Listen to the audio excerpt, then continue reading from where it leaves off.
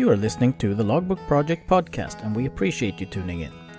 The Logbook Project is a global journey of a World War II pilot's logbook, collecting first hand accounts of veterans, witnesses, and victims from all sides of this horrific conflict. The project is intended as a token of remembrance and education to raise awareness of the sacrifices made. We encourage you to learn more about our project at our website, thelogbookproject.com. Welcome to this episode of the Logbook Project podcast. My name is Lars McKee, talking to you from Sweden, and from his tropical paradise of St. Lucia, project founder Nick Devaux. How are you doing this morning, Nick? Oh, it's uh, a little bit dark here this morning, Lars, as we just tried to figure out the time difference between us and getting that wrong by about an hour. But I'm good to be here. I'm happy to be here to do this and to do this right. So, this is just our second podcast. And if you wish to learn more about our project, what we do, why we do it, and how it all started, we encourage you to tune in to our first introductory episode. But on today's episode, we'll continue our journey and we'll pick things up in Japan, where we left on the last one. We'll be talking about two gentlemen that really made this project take off. It's uh, the Imperial Japanese Navy pilot, Mr. Kaname Harada, and Hiroshima atomic bomb survivor Shigeaki Mori. Maybe we should just start with uh, Mr. Kaname Harada, Nick. Who yes. was he? What was his connection to World War II? And what sparked your interest to reach out and trying to get his signature? So, as I now know, Mr. Kaname Harada, whose name I've only been pronouncing incorrectly for the last seven years, I've been saying the man's name as Kename. And if my family were here, they would laugh hysterically because I'm, I'm horrible with names. Anyway, so, to Mr. Harada, I was at work, and because of my interest in all things World War II, I suppose the various algorithms shot me an article. It was written by uh, Miss Rebecca Wright of CNN. I think she's based out there in Hong Kong. And she wrote a piece on this gentleman, Mr. Kaname Harada, who was a Japanese pilot, a hugely accomplished pilot I think we were just talking before we started here. If you go on to, on the internet and Google his name, he's credited with something like 19 kills, although that may be even that figure might be not or at least open I think to he debate. had yeah, there were I hmm. think there was nine, like nine confirmed and 10 that were shared or possibles. So like almost double ace. Right. So this is a man who had seen extensive action. In the article, not sure if it speaks to every major battle, but he certainly was. He significantly, most people will know, of course, Pearl Harbor. Harada was actually quite disappointed because he was asked to stay and guard the aircraft carriers, but he was there. He didn't actually attack the the, the you know the harbor itself, but he certainly was there. He was also at the Battle of Midway. He also had some skirmishes against some of the British Air Force in in some other in some other theaters where he downed in one occasion at least uh, five hurricanes. So so here you have this gentleman. Obviously, I mean, right off the bat, in terms of his his World War II record, it was of course very impressive. And then equally, what really caught my attention was how the the discussion of his post-war life. He became a very outspoken peace advocate. He uh, and again because of the horrendous things he had seen an experience. You know, one occasion he, I think it was at Midway, where of course the carriers were sunk, so he had to uh, crash land his, his aircraft into the water. He was then picked up by another Japanese naval vessel, and when he was brought aboard, he describes scenes of, of persons um, in a bad way around him. He noticed that there were people there in much worse shape than him, and yet he was being given the the attention by the medical staff, and he said to them, you know, please help these other persons. And they were like, no, no, no, we, they're probably not going to make it, but you, you, we can get back, and you, and you need to get back up in the air, so we're going to look after you. And I think that was one of several defining moments for him where he realized that just the expendability of it all and that they were all just little little cogs in a, in the war machine so something about that really struck a chord in me, and I just thought, wow, this is a really interesting human being. Um, and I thought, all of a sudden, Lars, I don't know why, but somewhere I just had this this very spontaneous thought: would this gentleman sign my father's logbook? How cool would it be to see to see his name signed in my father's logbook? My my dad's logbook is only about a third of it had been occupied. The rest of it were just blank pages. Uh, in my mind's eye, I could see this. You know, it was easy to yeah. see. Of course, then it became well, okay, great idea. And like, how on earth are you going to pull this off? He was suffering quite badly from the nightmares that he saw. So it wouldn't wouldn't necessarily be seen as warmongering or anything like that, trying to obtain his signature, because it's it was certainly a very very outspoken peace advocate uh, at that. Yeah, point. absolutely. Um, but it was just I don't know something about the mystique of the man. I didn't have any, and at no point on this journey has there ever been an agenda to forward any position other than you know the insanity of war. We're very apolitical we, we we're not and for me the other big thing was that i just wanted to learn what is the experience that you or anybody has had at, at the individual level what was your story that just has always and continues to appeal to me and so that was really my motivation his story was instantly captivating and i and i thought wow how amazing would it be course like i said the next challenge of course was how on earth am I going to pull this off? And I reached out to Mrs. Wright, and she responded and said yes she would she would contact the family on my behalf and i thought wow this is great so must have been a couple of days later she came back and said yes if i could get the book over there that he would sign it so that was the first really major victory seems kind of small but it was it just doing something as crazy as that um, as i look back now i realize that was sort of the she you know, she was the first enabler, if you will, because this project has been all about persons like her all over the world who have said, yeah, okay, I'll help you. This sounds kind of nuts, but sure. So at the time I worked at an organization, the OECS, Organization of Eastern Caribbean States, which is, you know, like you said, I'm, i live in St. Lucia. It is one of um, six independent countries that use a common currency and, and share a couple other communal administrative infrastructural uh, bodies.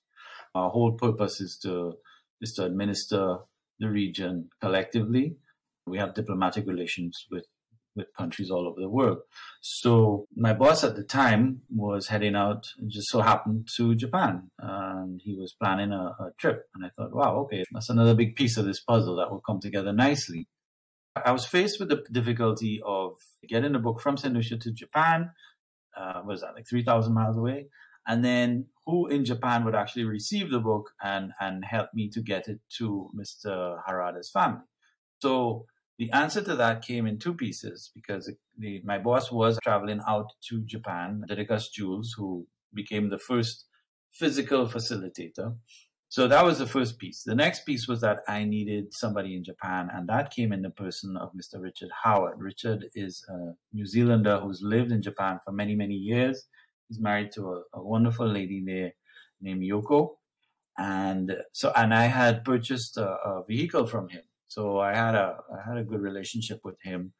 And I reached out to him and I, I explained to him what I was trying to do. And he, being a World War II buff himself, he was like, yeah, sure. Um, you know, why not? Let's, let's do it. I'll help you out. So I thought, great. And then, as I say, my boss was traveling. The day finally arrived. And that was the moment when, you know, all the alarm bells in my head really did start to go off and think, okay, what on earth are you really doing? This is, this is quite nuts. But I, I stuffed it in the envelope anyway.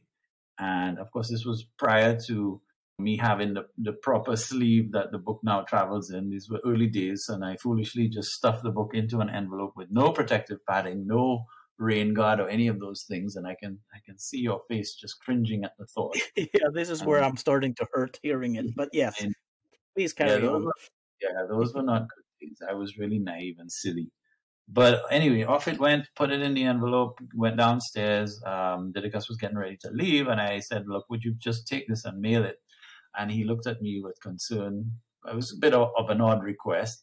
And I, and foolishly, I also then explained to him what it was, my father's World War II logbook. Of course, he was then horrified and tried to give it back to me. And this went back and forth. Eventually, I said, no, listen, just take it. So he said, all right, man, this is crazy, but uh, okay. And he did. And I didn't sleep too well for a few nights after that. So, um, of course, my wife was was not very sympathetic. She said, "Well, what were you thinking?" Anyway, off it went, and lo and behold, the book arrived safely. Richard got it, and that was uh, another another huge victory. You know, the fact that he had the book and it was safely there. So then I reached back out to Miss Wright, I guess, I, I, and it's funny how I don't even remember the exact, you know, timing and sequence of these things, but I, I did reach back out to her, and she she also then into to the family, and they responded and said, well, look, you know, he's not doing too well. Try back in a couple of weeks. Now I should have mentioned too that at the time of the article, I believe it's actually written in 2015, and I came across it somewhere in early 2016.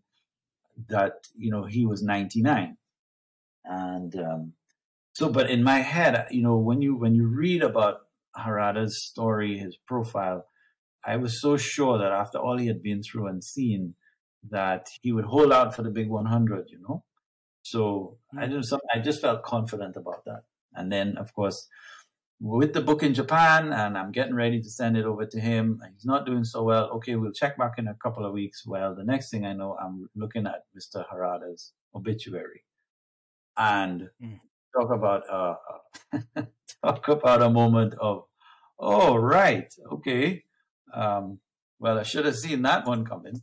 Uh, it, it, really it was such a oh that was a real gut punch, you know. The, the book was not with Mr. Harada's family at the point. It it was no, still no. with Richard, right? Yes, it was absolutely with Richard because, of course, you know we the the thing about it, even from then and since then, is that we we never send it until we get a green light. And at that point, the light was more like, I guess, orange, you know, pending hopefully his recovery and then being able to send it. So we were that close. I mean, we were really close, you know, and even now as I think about it, it's like, wow. But so, no, he died and Richard still had the book. That was the whole thing.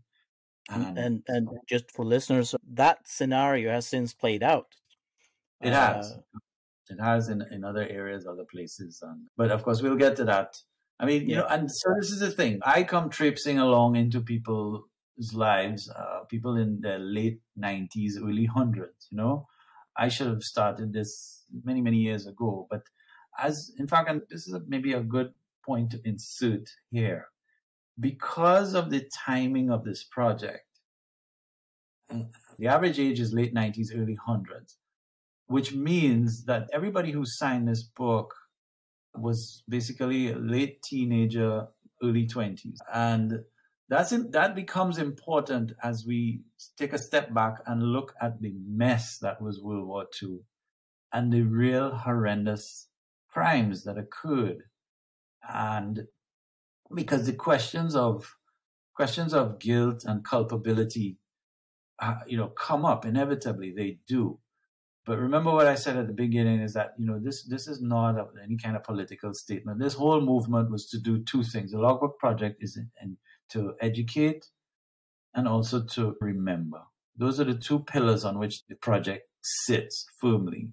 And so that becomes important when we think of the signatories because they are global. They are from all sides of the conflict.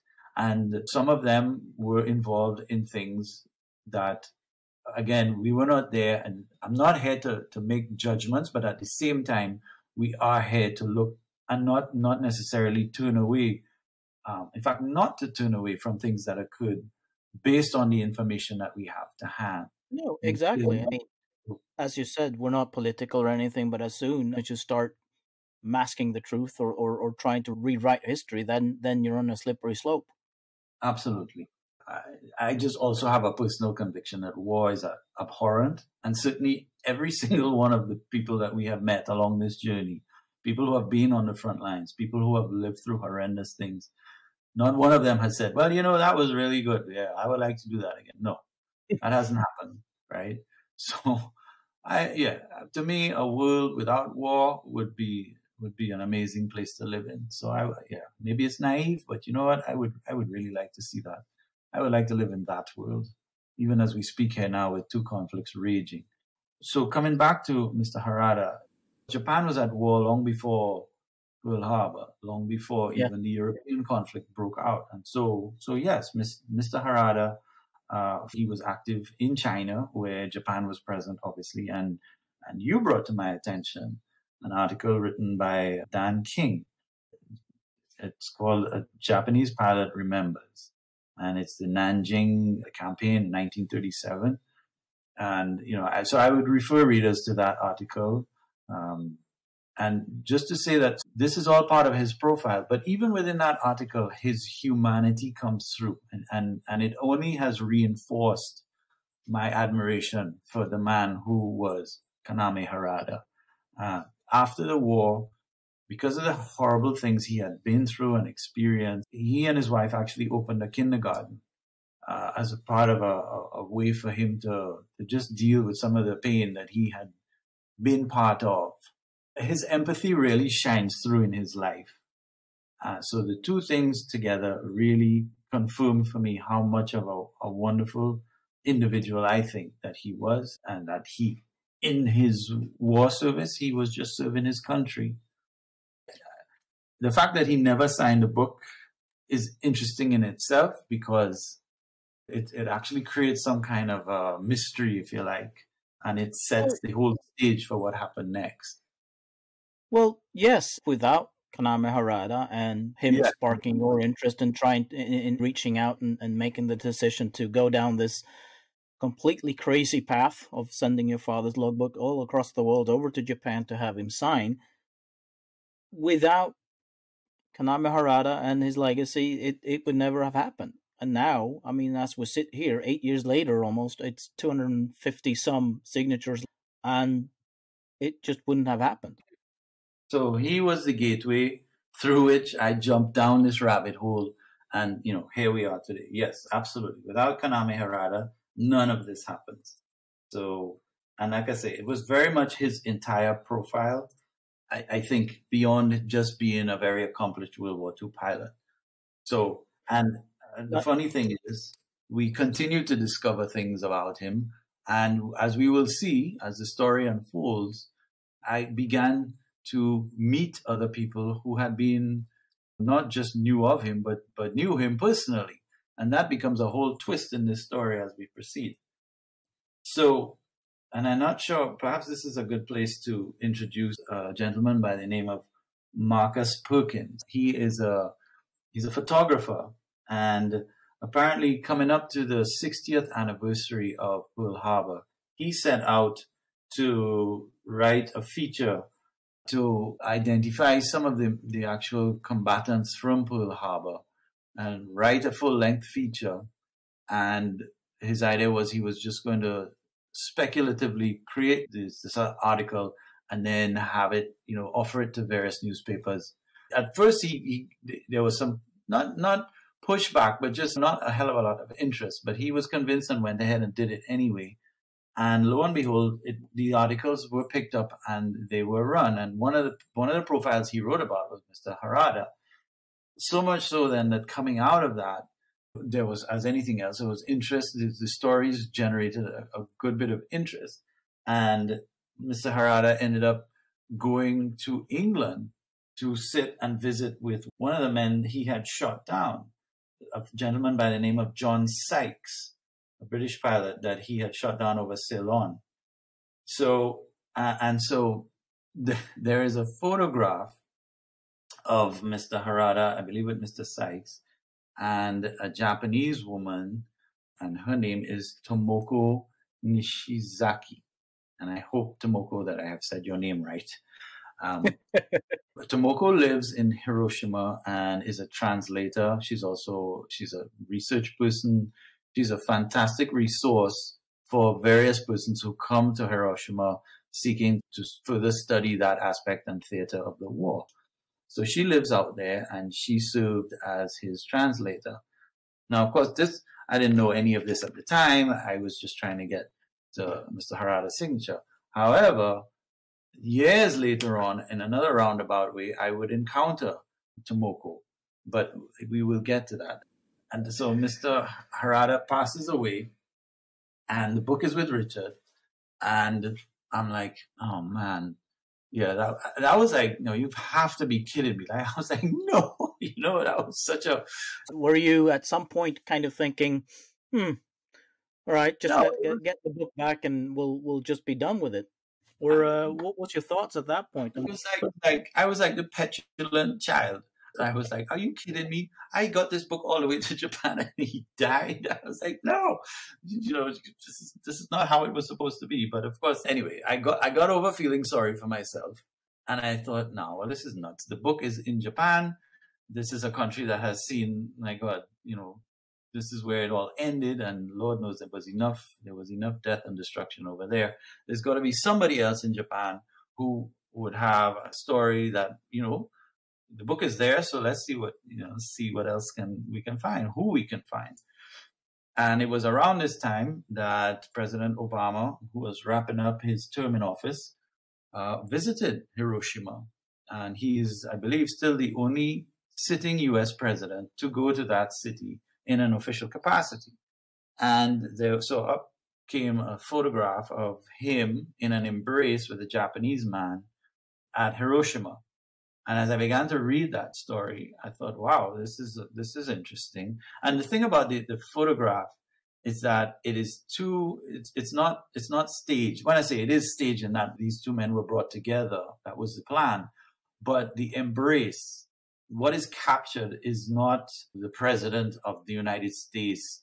It, it is just two human beings in a very human moment, in a, in a very vulnerable moment. So that that was the intrigue for me at first. I was like, okay, what is going on here?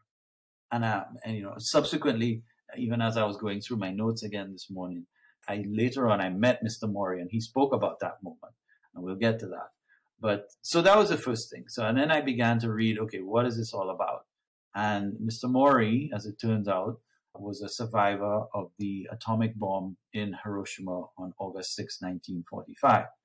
He also, as I came later to understand, dedicated a big portion of his life to finding and connecting the names of some American prisoners of war who passed away in Hiroshima, who had been shot down over the city, and who he felt passionate that their names as victims should also be included with the names of all the Japanese, over 100,000 Japanese who died as a result of the atom bomb.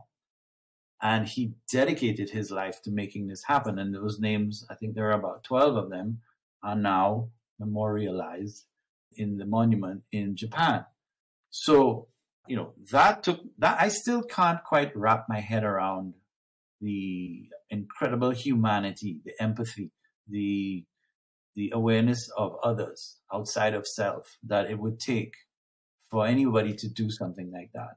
You know, yeah. put this into perspective.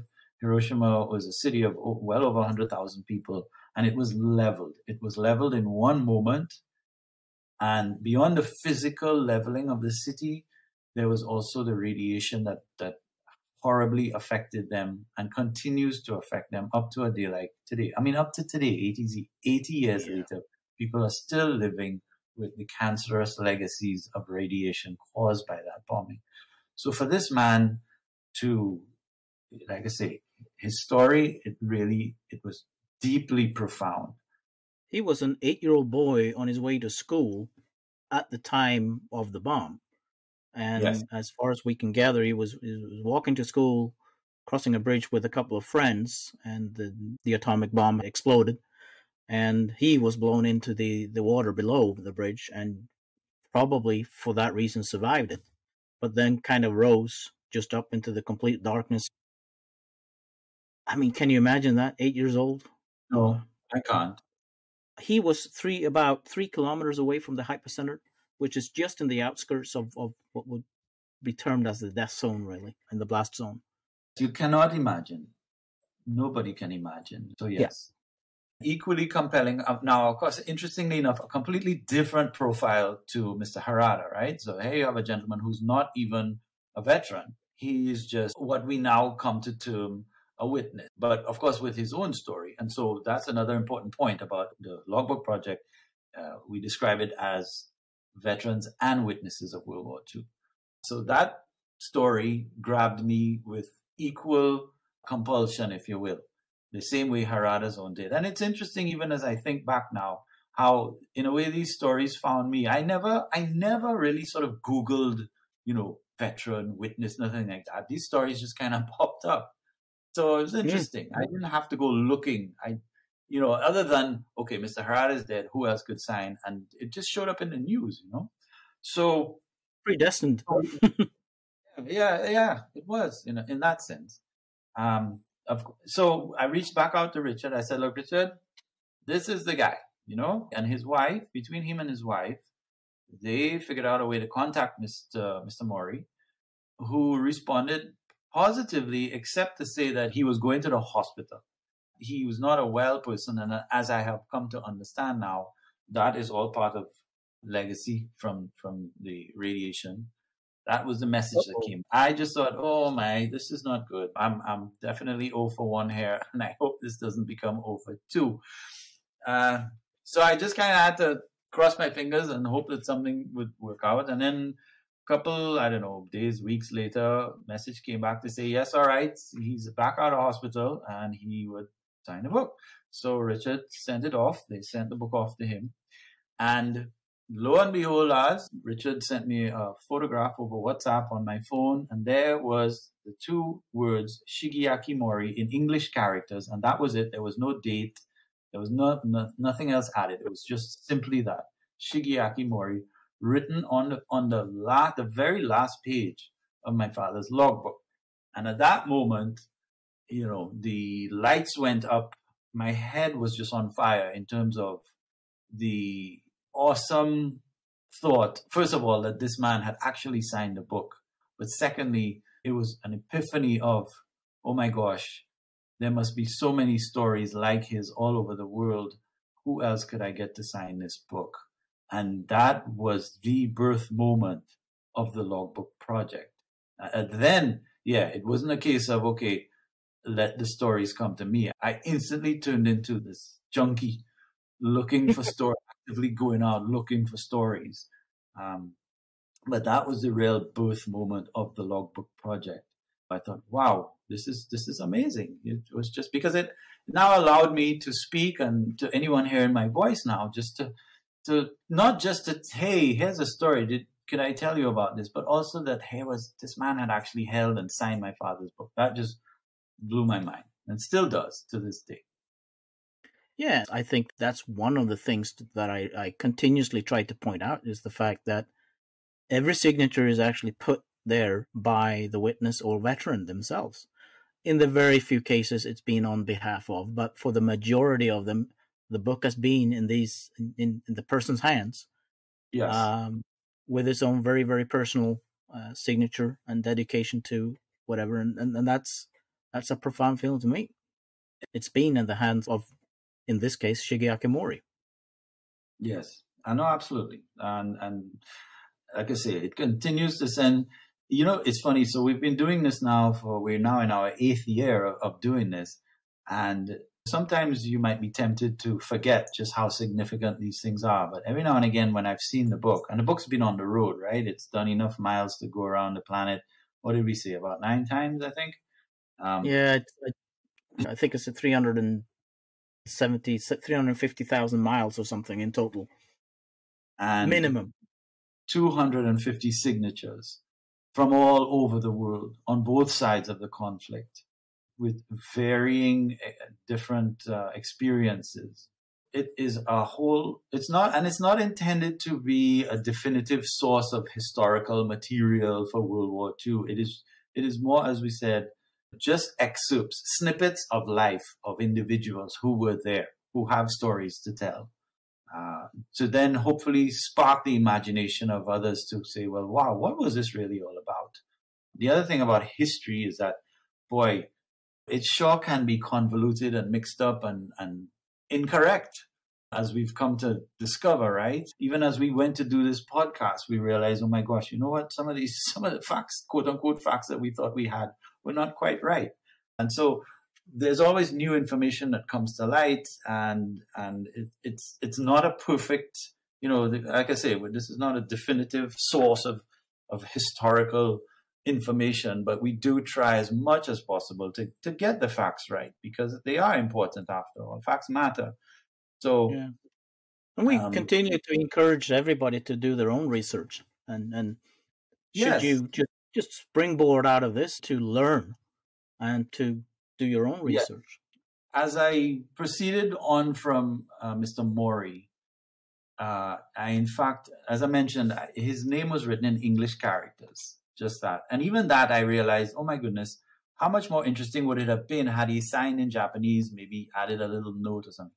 So, in fact, as the book has continued around the world, it has actually gone back to Mr. Mori because we also realize the man is married.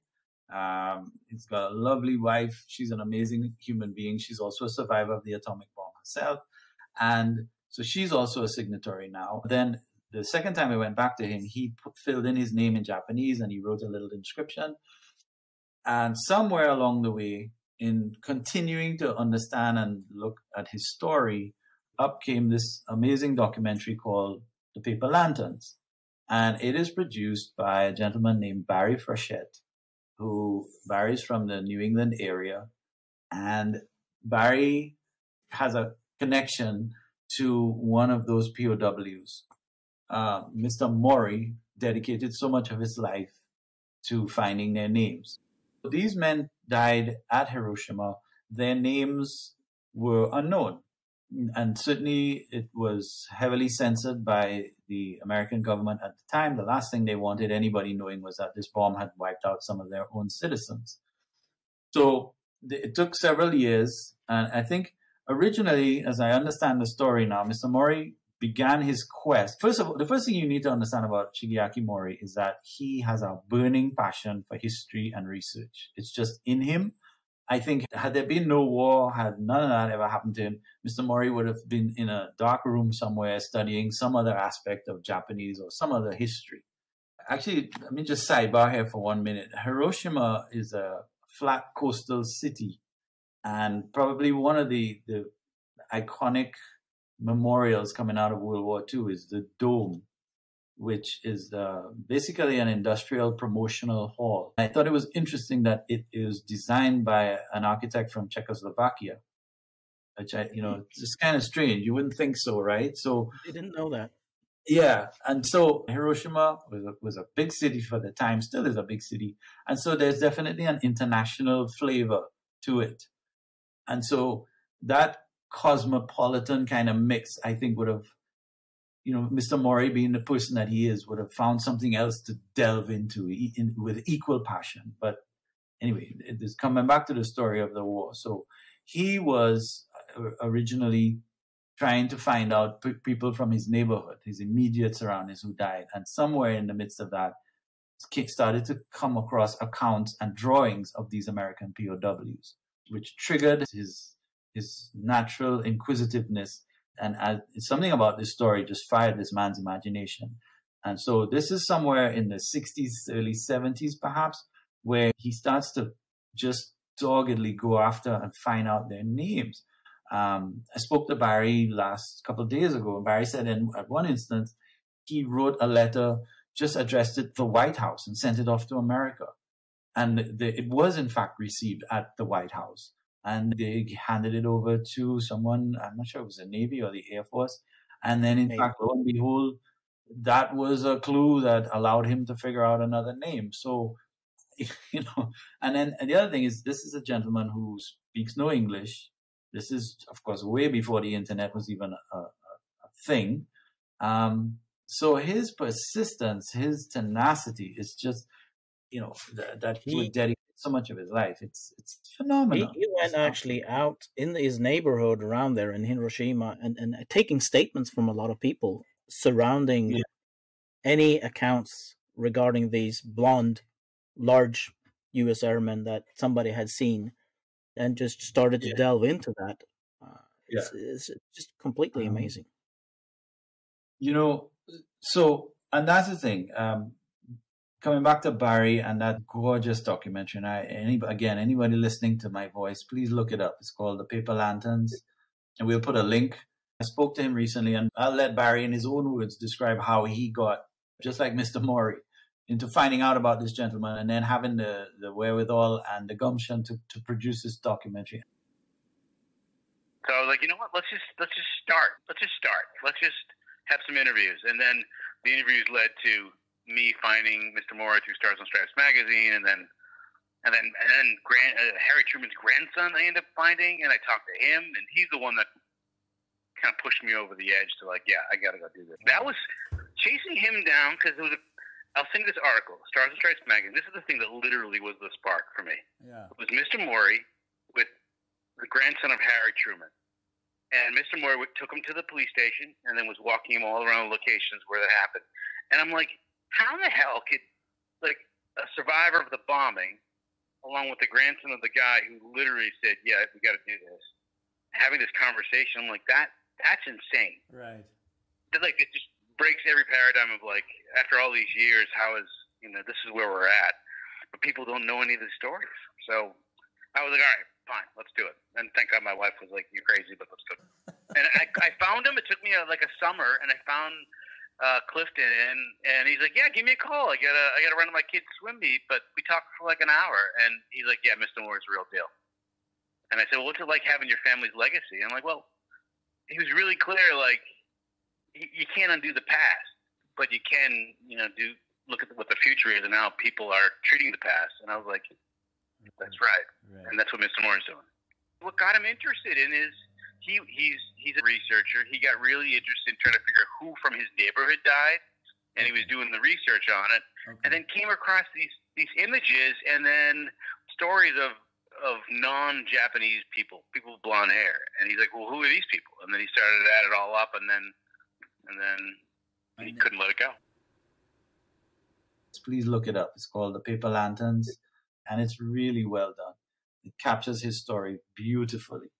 You've had the uh, the pleasure of actually meeting Mr. Mori. I did. I will just give a shout out to my current employer, JQ Charles. They have an automotive division, and one of the brands we represent is Mitsubishi. And I was fortunate enough in November of 22 to go out there on a business trip. And of course, I took the opportunity to stay a couple extra days in Japan. And yes, I went and I met Shigeaki Mori. My wife Arlene and I went out there, and it was just the most mind bending trip. And so this brings me back now to Tomoko Nishizaki, who we mentioned earlier, and also a reporter from the Asahi Shimbun newspaper, uh, Mayuri Ito. And the way I, I came into meeting both of these women was a sort of a roundabout way, but I've subsequently came to understand that Tomoko, in addition to being this, well, she's there in Hiroshima, and she was introduced to me by another gentleman by the name of Mike Meir, who I met because of another story that we will get to. And Mike continues to be one of our huge champions and supporters. But Mike himself, uh, his story being completely tied in with Japan, um, he introduced me to Tomoko. And so I was introduced to this person as somebody who was living in Hiroshima who could help me meet Mr. Mori and who could possibly translate. Only subsequently did I come to understand that, by the way, Tomoko also, knew Kaname Harada and in fact had accompanied Mr. Harada to England on the occasion of him going there to meet Mr. Sykes, John Sykes, that pilot who he shot down. And also just a little side note, but one of the culminating things of that trip as it triggers my brain now is that he went to the memorial.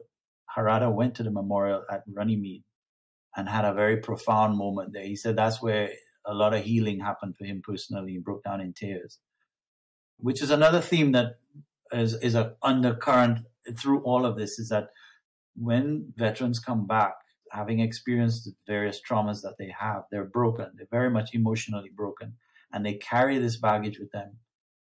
And everybody's on a journey to find healing and peace. I don't care who you are, but there's one ubiquitous thing that makes us human. Well, there are many things, but one of those things is that when we suffer trauma, we absolutely want to find that healing and peace. Some of us do and some don't, and every journey is different. And so that was one of the things for Mr. Harada there in England that he experienced. We will see that theme pop up time and time again uh, with the with the other signatories. And I, and even as I think back to Mr. Mori's story now, you know, this whole thing of wanting to find the names of these Americans and tell their families what happened, because the, the coming back to the families, and even Barry confirmed this for me recently they, all the families really were told was that their, their loved ones had been shot down, but they really didn't know much beyond that. And so again, you have Mori bringing that journey of closure, some degree of healing, uh, you know, to, to, to, allow these families to know what happened to their loved ones over there in Japan. That's so profound and powerful and relatable. Everybody can relate to that. You know, if you lose a loved one and you never know, it's just a horrible, horrible thing and it, and it haunts forever. So I was given this opportunity to go out and, and between Tomoko Nishizaki and Mayuri Ito, who is just the most amazing reporter with the Asahi Shimbun, and, and there were other people involved in the trip in Japan, and, and we will get to them as well in subsequent stories. There's other reporters who, who assisted us as well. But, you know, as relates to this part of the story, these two women were absolutely instrumental in allowing us to go down to Hiroshima to meet uh, Mr. and Mrs. Mori. We took the bullet train down. We got to the city. It's a, as I mentioned, Hiroshima is a coastal city it is built on a on a flat delta. Uh, I think the name of the river is the Ota River, which comes into the city and then it splits up into five tributaries. So water, the whole concept of these rivers that flow through the city, the features are everywhere. And as you move about in the city, you're constantly crossing back and forth of these tributaries. And um, one of the things that uh, Tomoko explained to me as we were in a cab heading over to, to meet the Moris, she said that they have incorporated water into the features of the memorials, the various memorials that exist uh, around the city. Because apparently, in the aftermath of the bombing, a lot of people were dying, and as they were dying, they were asking for water. Water, they wanted, they, you know, it's just part of the legacy of how they died. So this this is part of how they remembered how this played out. Water becoming such a, an important part. So yeah, we, we, and we went and we sat in his home and we met him and his wife and they shared their experiences with us as persons who had lived through and survived the bombing of Hiroshima. Some interesting little differentiations that they made where they now now it's very important for me to say this that having been there, having met them, having heard them explain their stories, I still know absolutely nothing about nuclear war or what it's like to live through that, how, you know, the legacy of it. You because I, only people who have been through it can tell that story. So I, I, you know, and again, I encourage people to go and research. I can only tell you little snippets from my notes, you know, things that they said to us. Um, one of the distinctions that they made was that it was it affected the blast affected people differently whether you were indoors or outdoors at the time we went to the memorial and as we moved through that and boy is that a profound museum to go through and see the different displays that they still have and see the stories um, but what we understood is that on the morning of august 6th there were a lot of now japan obviously had been bombed. It's, you know there was a lot of bombing occurring regular type ordinance of the day and so, as a protective measure, the citizens would go out and burn certain sections of the city to create uh, sort of like uh, barriers against regular bombs that would start fires and spread. So they would create, they were trying to create these buffer zones so that the bombs wouldn't uh, have as much of a devastating effect from the fires that they would start. So on that morning, as I understand it, there were a lot of persons engaged in this activity who were outdoors burning various sections to create these fire barriers.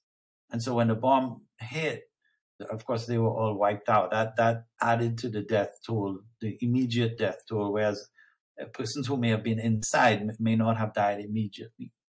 And the Moris also explain that, you know, they, it's not frustration, but they already sense that some of the words that people use to describe what happened to them are, are nuanced and, and different to the way they would describe certain effects and uh, even of the, the bomb blast itself. So it, it was just interesting to see how these two people who had been through this, this horrible bomb, even as they still continue to live there in a wonderful little neighborhood that overlooks, because they actually live on a, on a hill that overlooks Hiroshima how even there in their lifetime, with them still being alive, are already noticing that some parts of this story are being relayed in a way other than how they would like for it to be relayed.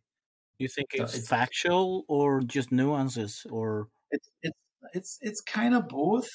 Um, just imagine your own trauma being described, not necessarily wrong, but different to how you would describe it. Exactly. You know, exactly. Um, here they are, these two individuals who've lived through it, who still live there, yet already sensing that some parts of their story are being, I don't want to say misrepresented, but are not being told in the way that they would prefer. And so I'm just referring to my notes because I did keep notes as I sat with them and even afterward. So she, and this is about Mrs. Mori, agreeing with Mr. Mori in our conversation that today's generation don't necessarily get everything right about the story. There's a word that they use, and again, forgive my atrocious Japanese, but they, they I phonetically wrote the word as pikadon. Pika meaning light and don meaning uh, loud explosion. This word is used, but it does not necessarily describe, I guess, the intensity and the violence of the explosion.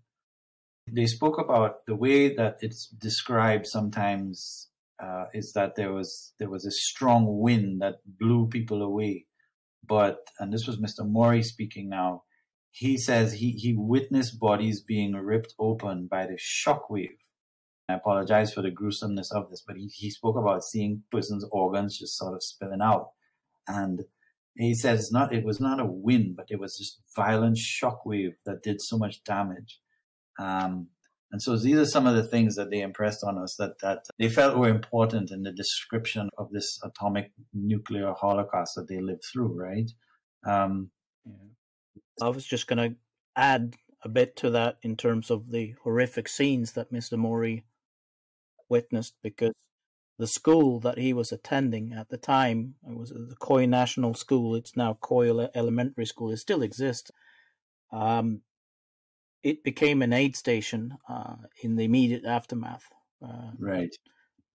Aid station in the sense that that injured people gathered there, and obviously there were a lot of bodies, a lot of people dying there, and uh, it also became the scene or the place for them cremating bodies. Uh, and that's part of the uh, the legacy that he carries. Uh, just seeing stacks of people being being buried yes. or cremated yes. on on the spot. I mean, these horrible scenes of violence visited upon a child. Um, you know, it's, it's, amazing. I mean, and you would sit. I, we sat. We sat in their home. It's very humble. The Japanese build things. They build a lot of things, but they build them small. So it's very. We get to his home and we're sitting in his living room, sharing it this already small room with a grand piano. His wife is a is a concert vocalist, um, and so it's very cozy. And we're all sitting together, and we're sitting with them, and they're just the warmest, most you know, just welcoming people that you could meet. And if you did not know their story, you would never know. There's nothing that suggests, oh, by the way, you know, I lived through an atomic bomb.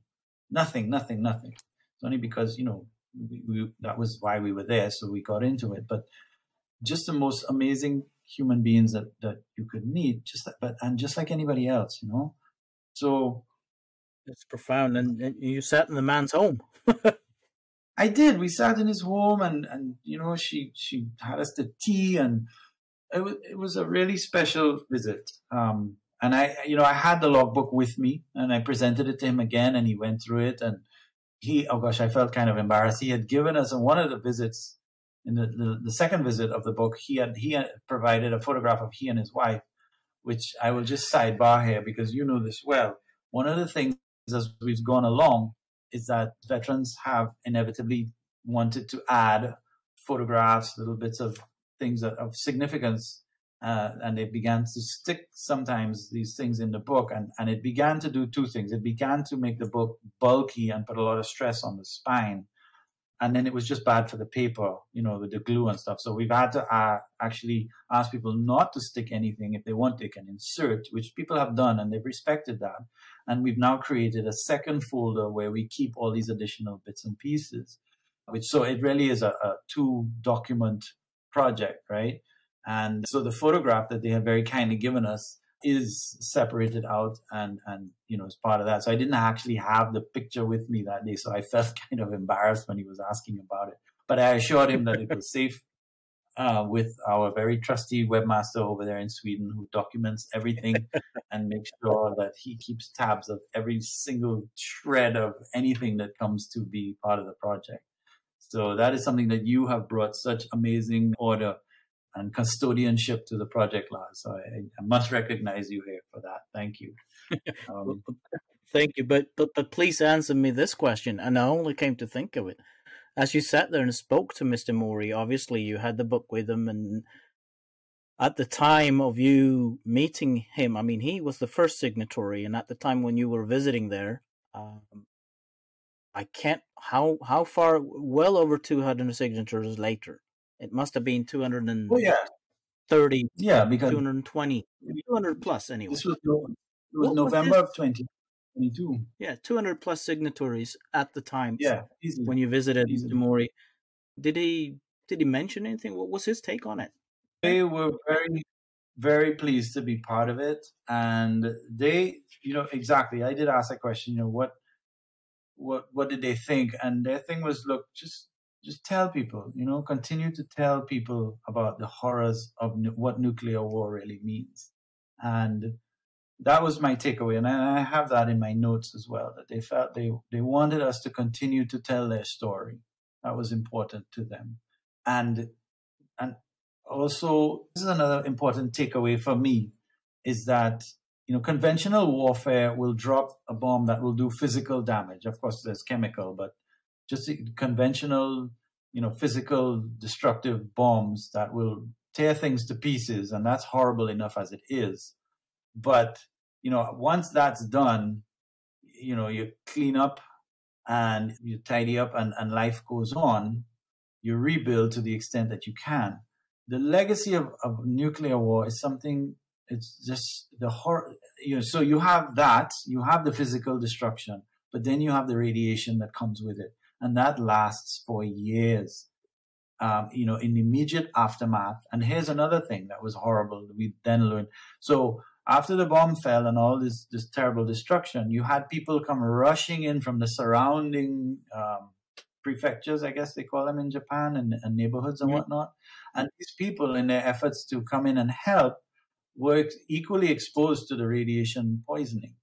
And so that's a big part of as you go through the museum, you see that you know they they it's because it's part of the legacy of it. There are all sorts of horrendous cancers, blood cancers, keloids that grew on people's skin um, that th- that they've had to deal with for years. As I mentioned, up to today, uh, one of the legacies within even within Japan is that they had the Japanese people had to come to the realization that look, people who suffered at Hiroshima and Nagasaki, they had to be uh, designated in a, such a way so that their ongoing medical issues are treated by the state.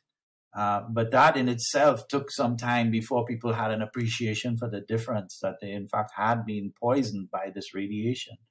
And I, even as I went through my notes there, Mrs. Mori suffers with cancer. She, it was interesting because she mentioned about having, uh, I think part of her lung had to be removed. And she, but she wasn't even necessarily saying that, yes, I got this as a result of radiation poisoning. But she said, you know, in her own mind, she has to wonder if the two are connected. But certainly, certainly, uh, her father, Mrs. Mori, if I may just say, he was dignitary in the in the city.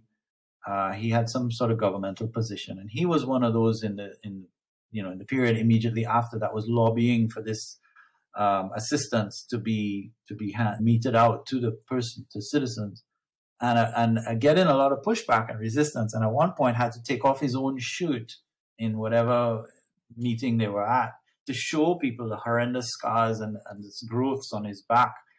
Um, and, and that I gather created quite an impact.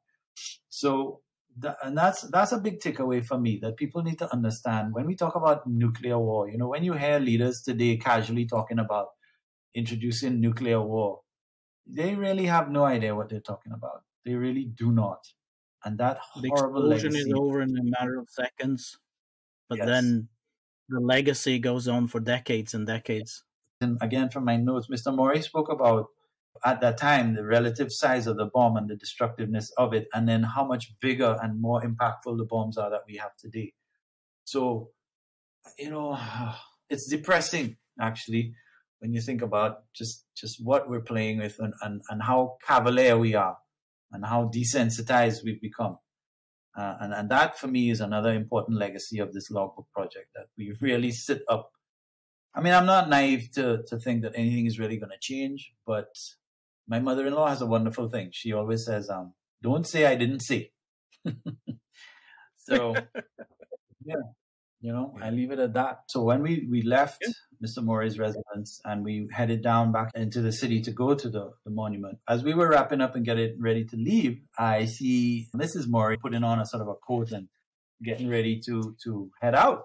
And, and uh, to my very pleasant surprise, she hopped in the cab with us and accompanied us down into town, where we then went to the site where the POWs had been kept at this police station, uh, where Mr. Murray has has erected a little, very uh, modest monument to these men, paid for by himself. Uh, so it was really lovely moment, you know, that she accompanied us and brought us there, and we were able to see it and be photographed with it. I've, mm, I've seen the She- we- photographs. You sent the photographs, and they're re- really profound to see. I mean, you're actually Yeah, in that yeah. that location To be the in the police spot, station was. yeah. To be Of course, it's spot. all it's all built up now. So things like that never quite have the same impact. You're just basically standing outside a building. But yes, we went to the spot and she took the trouble to come with us and I was deeply appreciative of what she did. She didn't have to do that. And then she accompanied us over to the memorial itself, the museum. They have it lovely. It's a big laid out area outside, big wide open area. And then you walk to the building and there's uh, again these water fountains. And as we walked away from her, that's where we parted ways. I turned around to wave and she just stood there beaming and waving. And, and I turned around five times as we walked and she was there the whole time. And it was, it was a very special moment and sort of a confirmation to me of how much she appreciated us coming to see them. I will never forget those people and I will continue to talk about them as long as, you know, I have um, air in my lungs. It, it was just really Great. profound. Just lovely, lovely. Well, you went and visited the museum in Hiroshima that covers the, uh, the atomic bomb event. Yes. So it was getting a little late, but we went in. We didn't spend as much time in there as I would have liked, but it is absolutely profound and and it's also I was a little apprehensive because I thought, boy, this is really going to be, especially after speaking with Mr. Murray, I thought, oh boy, this is really going to be really brutal and hard to get through. And it is. It well, I say, it the whole thing surrounds the death and destruction, so it is. But it's not. It's not overly gory. It's not. You know. It's it's um like it wasn't physically upsetting in that sense. I'm sure some people must find it very hard to go through, but I did not. But what did strike me, Lars, was the silence. You you know you- you're in there with all the people, and it wasn't crowded, but there were people. There were certainly enough people, and and it's and it's dark. It's purposely dark. The displays are dark, and you and each one is sort of has little spotlights on it, but it's just quiet it, that's what really stays with you as you move through this thing and the impacts of the various displays you know the clothing the bunch of melted coins the cutlery that's all fused together like a blob of wax from the heat various things that, that just sort of as, as you go through. And just just as, so you come out of there in in in a somber place which of course you you have to be right? So I, yeah i would encourage anybody who's ever had any kind of inkling to go. Uh, it certainly makes a profound impact. The other thing is, I there's a there's a beautiful um, you know montage collage. I don't know how you a big life size up on the wall, like pictures of the city before and after the bombing. So you gotta as you're walking in, they take you along this hallway, and you feel like you're walking in the city. And and there's this part where you know it's all built up and beautiful, and it was. It is a beautiful city, and it was. And then as you continue to walk, they show the same area just desolate. You know, this this this war zone, just everything gone, burnt, and destroyed, and you still continue to walk. So they do a great job of sort of introducing you to that. So Yeah. So yeah, just a, an amazing, profound visit uh, to an amazing, beautiful country that I really would love to visit one more time. Uh, the people there, everything about Japan, just it, you can't go to Japan and come away unaffected. It, it's such a different society, at least to what I'm used to, and I am definitely a better person for having visited. The kindness that was shown to us, um, you know, still resonates, and I yeah, I, and I'm so grateful to all the people who helped us. And we will speak of some of the others because, yeah, that was just one part of our visit there. We we had several other things happen to us that I'm excited to speak about in future episodes, but you can't touch everything today. So, no, I think that's probably a very good time to kind of conclude this episode. Um, and I think what we should probably do is just to say a few words about the next episode, which would be from Ireland and Corran Purdon. Correct. To so armed with one signature, um, I decided, yeah, this is great. I'm just gonna venture out into the world and get me another. Uh, and so, I must thank uh, Shigeaki Mori for for taking a leap of faith. He had no idea who I was, what I was about, but he signed the book for me. And I am truly grateful to him. But I'm also grateful to the ones who came after him, you know, the first handful, the first 10 or so. Uh, as you point out, Corran Purdon being the next one. Again, because I had really had nothing of a track record. And yes, this, this gentleman whose story is, you know, it, it's a, probably a series worth of podcast by itself did sign, uh, as did Mr. Sidney yeah. Knox down in Trinidad, and, and we will get to their amazing stories next. Yeah. I'm actually going to say, which is going to rel- relate to the next podcast. I'm going to say on that bombshell, we'll conclude, conclude this episode, and you'll understand in the next episode why. Thank you. Thank you. You have just listened to an episode of the Logbook Project podcast, a non profit initiative seeking to illuminate and preserve some of the veteran legacies of World War II. To contact us or obtain more information about our project, please visit our website, thelogbookproject.com. We would love to hear from you and thank you for listening.